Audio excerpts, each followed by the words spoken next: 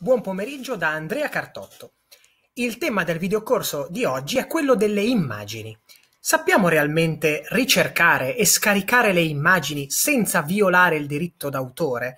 Questo è un tema molto delicato ed importante, tanto è vero che la prima via a cui fare riferimento non è la ricerca per Google Immagini.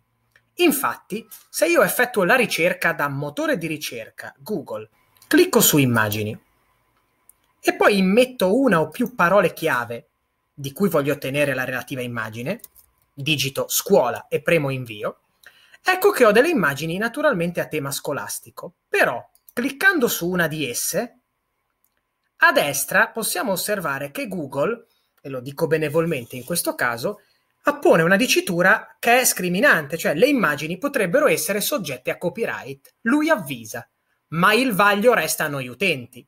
Questa è un'immagine che potenzialmente non può essere inserita a cuor leggero in un'attività didattica. Minimo sindacale, se lo faccio, è quello di riportare la fonte, cioè devo riportare immagine tratta da Il Fatto Quotidiano e di proprietà de Il Fatto Quotidiano. Ancora meglio, cliccare sull'immagine verificare magari in quale data essa è stata pubblicata all'interno di quale articolo. Però per evitare um, diciamo questa procedura un pochino sul filo di lana, è bene fare ricorso invece a dei siti che nascono con l'intenzione di mettere a disposizione immagini di alta qualità, in sicurezza e immagini che non ledono il copyright. Ne vediamo quest'oggi ben tre. Partiamo da un noto riferimento e una nota risorsa a livello mondiale. Pixabay. Pixabay lo vado a cliccare il sito di riferimento, lo vediamo anche in alto, è pixabay.com. C'è una splendida e facile app anche per i dispositivi mobili da poter utilizzare. Qui siamo appunto da browser, digito la medesima parola chiave di prima, scuola, premendo invio, ed ecco che mi trovo davanti ad un archivio di immagini anche già potenzialmente filtrate, ma vi mostro che in realtà è possibile eh, cliccare, dunque selezionare il quadratino Safe Search ed avere un filtraggio ancora più efficace di risultati cosiddetti espliciti. Ma penso per esempio alle colleghe della scuola primaria, cercare una immagine su Pixabay è sicuramente ehm, meno rischioso che ricercarla su Google Immagini.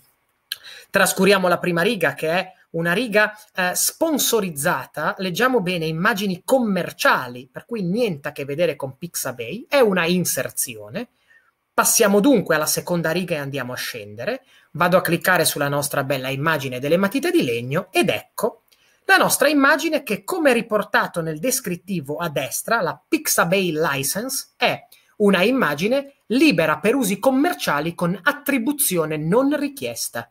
L'esempio che faccio sempre ai colleghi anche nei miei corsi in presenza è questo. Posso prendere questa immagine, riportarla su una maglietta per un evento scolastico e eh, con un'offerta libera fare sì che un genitore acquisti come ricordo questa maglietta eh, per sostentare ad esempio un'iniziativa dell'istituto. In questo caso, dove in realtà non c'è neppure un lucro, ma è sostanzialmente una donazione liberale, però lo sto facendo non con una immagine eh, di cui mi sono appropriato indebitamente, d'accordo?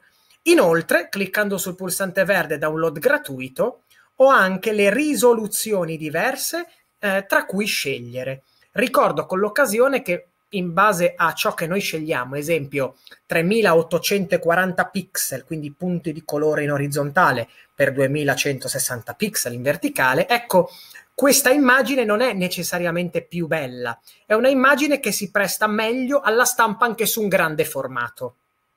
Nella realtà, per un uso didattico o per una pubblicazione sul sito dell'istituto, va più che bene una risoluzione anche minima come 640 x 360. Un clic sul tasto verde Download. Non viene in molti casi neppure richiesto il famoso controllo antifrode, quel famoso quadratino io non sono un robot per intenderci da cliccare, si sceglie dove si desidera salvare l'immagine, in questo caso io mantengo la mia cartellina dei download e poi vado a digitare il nome che preferisco. Matite e poi effettuo un clic sul pulsante salva.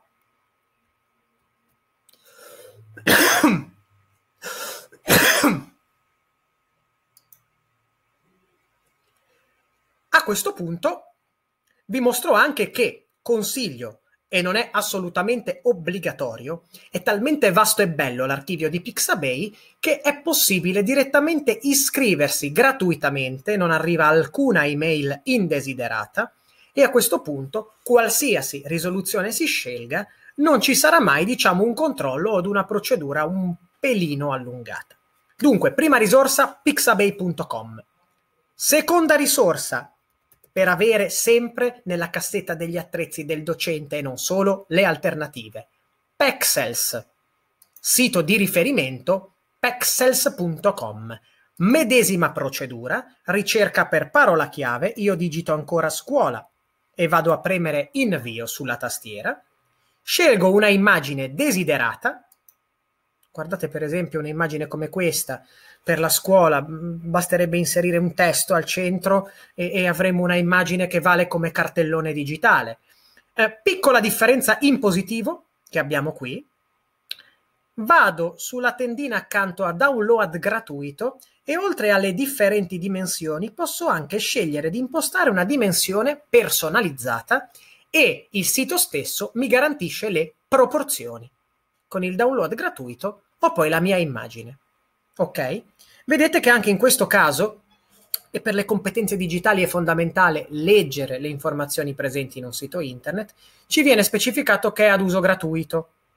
Addirittura guardate un pochino sotto per dire la frequentazione di queste risorse che non nascono ora in tempo di pandemia, ma sono storiche, famose a livello internazionale, 15,8 milioni di visualizzazioni su questa immagine.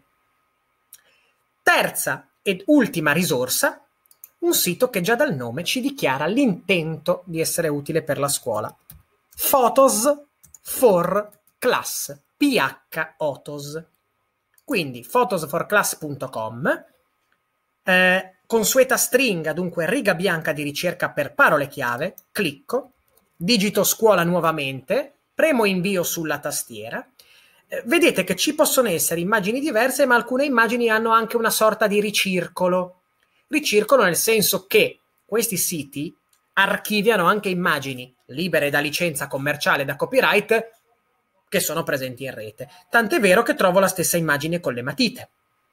Io però ne prendo una diversa, clicco sul mio download. A questo punto vedete che mentre le precedenti immagini riportavano la dicitura in salva come JPEG, che è un formato compresso, si dice, cioè che garantisce una buona qualità e un ragionevole peso. Il formato PNG ci dà la stessa garanzia, ma lo consiglio ad esempio se si deve stampare. Qui non decidiamo noi, vediamo come ci viene proposto il salvataggio. Assegno il nome alla mia immagine e quindi in questo caso vado a digitare matite 2 o matita o nel nostro caso, anzi, siccome c'è un po' di tutto, no? vedete che c'era uno smartphone, possiamo mettere strumenti scuola. Clicco su salva. La differenza di Photos for Class è semplicemente quella che ora vi mostro. Clicco un attimino qui in basso a sinistra, nelle immagini recentemente scaricate e salvate nel mio computer, ecco qui.